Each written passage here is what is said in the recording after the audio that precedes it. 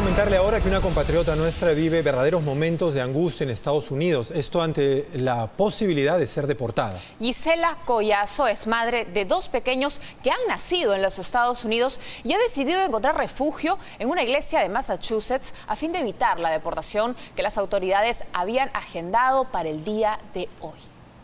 United Church of Christ esta iglesia de la ciudad de Springfield, en Massachusetts, se ha convertido ahora en el nuevo hogar y refugio de una peruana que intenta evitar así la deportación.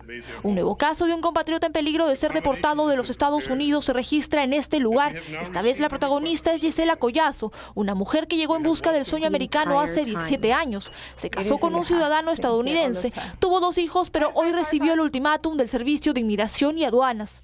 Sin embargo, en esta iglesia le abrieron las puertas para que junto a sus dos pequeños de 10 y 4 años puedan refugiarse hasta encontrar una solución. Es una decisión difícil de tomar para cualquier familia.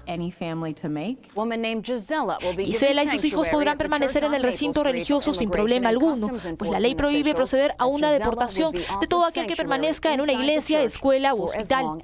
Sin embargo, sobre ella pesa una orden de deportación por haber ingresado al país con documentos irregulares y haber perdido en sus apelaciones.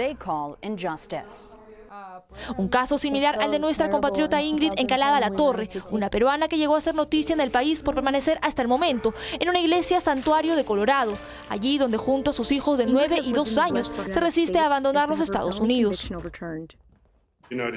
Por el momento, el futuro de Gisela Collazo en Springfield es incierto.